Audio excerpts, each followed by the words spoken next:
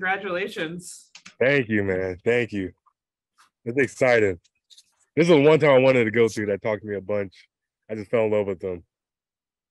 Yeah, we saw the the video of you getting picked, and you you kind of stood up and like uh, Marcus Freeman just told us it was like you flipped the switch and you were just the intensity just came out. Can you just explain that moment a little bit? It was just like emotion you can't you can't bottle in. You can't you just gotta let it go. That's what happened. That's just family all around me. It just I don't know, like in that moment you just gotta do what you had to do. And I just stood up. Got like I was about to run through that TV. I was like, I'm ready to go right now. Uh, you mentioned that this is a team that you've you've spoken to quite a bit. I know you went to the Senior Bowl. Uh, Did y'all have other conversations all throughout? And did you have a feeling that this might be on the way? That This would be the team that you would hear your name?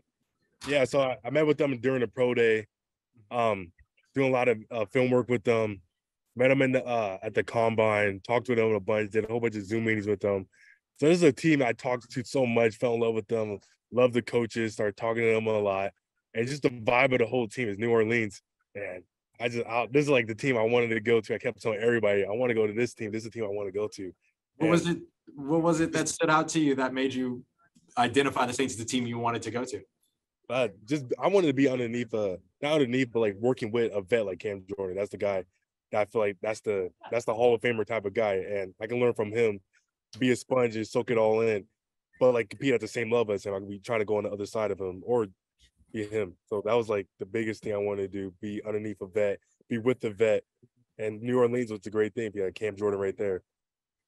Does it mean something extra to you that they've used their first two picks to get defensive linemen? Defense means something here. Yeah, it definitely does. I want to go on a team that is defense and D line pretty much oriented. Since that first pick with Bryan Bresee, me and him is going to be dominating the uh, the front seven. So that's great. Isaiah, what was your day like? Can you talk about it leading up to the uh, phone call? What was my day leading up to it? Yeah, what was your whole day like? Just thinking about it that it could would happen tonight. I just thinking about it. Like I said before, I wanted to go to Saints. That's like I was just thinking about it, saying it to everyone. Like this is a team I want to go to, trying to speak it into existence. And you know what? It, it worked. It worked, man. How would you say that um, you will most immediately impact the New Orleans Saints defense when you get here? How will I? Mm-hmm. I just being myself. That's the best thing I can do. Just be myself, and myself is just being a great leader, being a sponge, being like learning from a guy like Cam Jordan, and that's just being me and just being a relentless pass rusher. That's the guy I am on on the defense. Where where are you at right now? I'm back home. I'm back home.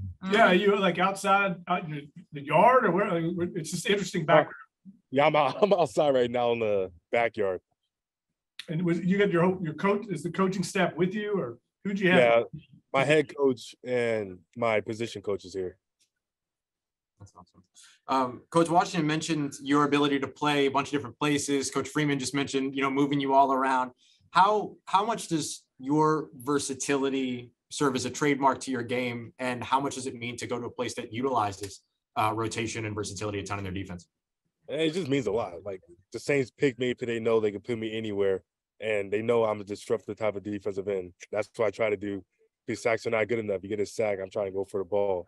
So they know that. They know I'm a disruptive defensive end. Get me on the field, I'll cause havoc. So that's what they wanted to do. So they draft me. They know you can put me inside, outside. They Even put me at linebacker if they need to. Coach Freeman um, was talking about how much you love learning technique, and he said you like learning the martial arts of technique, which I thought was such an interesting term. Is that how you view it? Like viewing past learning past rushing techniques is like learning like a fighting style almost. It pretty much is because you're in the trenches. That's why I am in the trenches inside, and you're fighting against 300 pound guys. So I got I got to use my speed, use my leverage to my advantage. But that's why I am. That's what I do. I'm a big guy, but I also have speed. So I pretty much yeah. You, you think of it like martial martial arts, but I think of it like boxing. But that's something I start picking up and start using uh using my hands a lot better.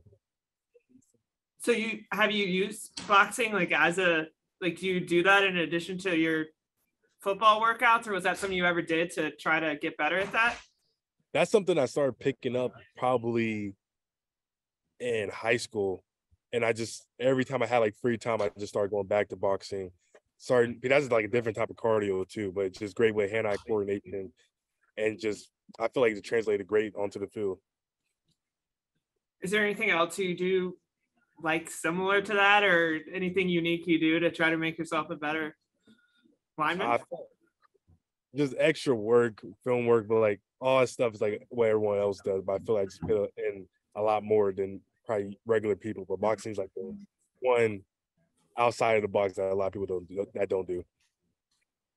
What are some areas of your game you think you can improve by learning from someone like Cam? I feel like I can learn from him. I feel like just pass rush arsenal. Like I'm not Cam Jordan, I'm not him, but I can learn through him and see what he can do. He can teach me moves that he's seen like my type of body, what I can do, going through practice, just trying to learn from him, my pass type of arsenal, my go-to moves. I know my go-to move was it might be different in NFL. So I pretty much just want to learn from him. Isaiah, how, how many times have you been to New Orleans? Ah, None. I haven't. I've not been to New Orleans, but I'm happy to go there now. What, what's your impression of the city? I mean, do you have one at all? Of What's the reputation? Now I just know gumbo, crawfish, like good. I know. I know I'm gonna be eating good for sure. Do you like the idea that your coach, head coach, has more of a defensive mindset, given that Dennis Allen was the DC here for so long too? Yeah, yeah, I, I really do. Because, def- Coach Freeman was a defensive coordinator before before he became head coach. And I feel like that just embodies like the whole defense uh, culture and the whole team culture. You rely you rely you rely more on the defense when it's defensive type of head coach. I feel like that's just a great plus for us, man. They rely on the D line. It starts with us. Might have to say hi to Coach Kelly when you get down here too. I know. I, I definitely will. I'll, I'll stop by LSU. Thank you so much, Isaiah. Isaiah. Congratulations, man. Thank you. No problem. Thank you, Isaiah.